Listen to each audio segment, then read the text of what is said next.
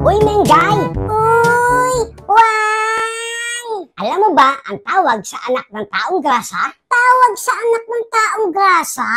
Hindi ko alam, Wan eh. Eh di, baby oil. oh!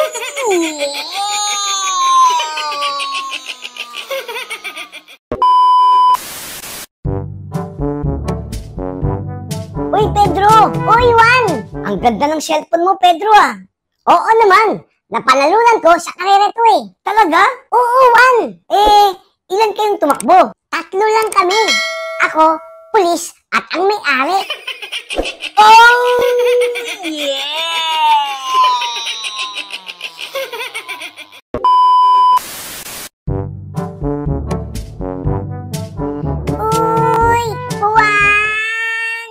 Uy, Mengay! Juan, bakit ang liit mo?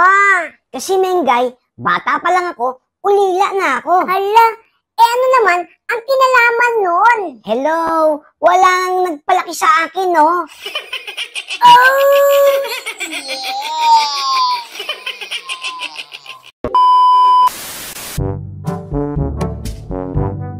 Itay, itay! Ano yun, Juan anak? Pinagalitan po ako ni teacher kanina. Hala, bakit naman anak? Hinalikan ko po kasi ang katabi ko, tay.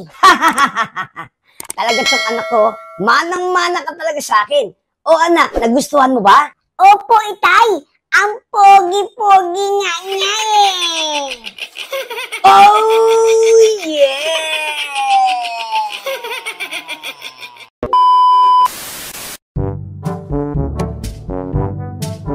Uy, Pedro! Uy, Juan! May sikreto ako. Ano yun, Juan? Sikreto nga eh. Engot ka ba? ah, ganun ha. May nakalimutan nga ako sabihin sa iyo, Juan eh. Ano yun, Pedro? Nakalimutan ko nga eh. Engot ka ba? oh, yeah!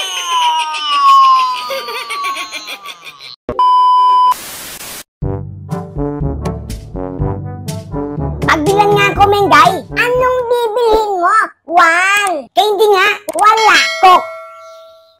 Wala. Eh, juice. Wala nga. Kita mong ice for sale yung nakasulat. Malamang ice ang tinitinda namin. Engot ka ba, Juan? Ikaw nga ang mas engot, Mengay eh. Kita mo ang ice lang ang tinitinda nyo, tapos tatanungin mo ako kung ano ang bibilhin ko. Engot! Oh, yeah!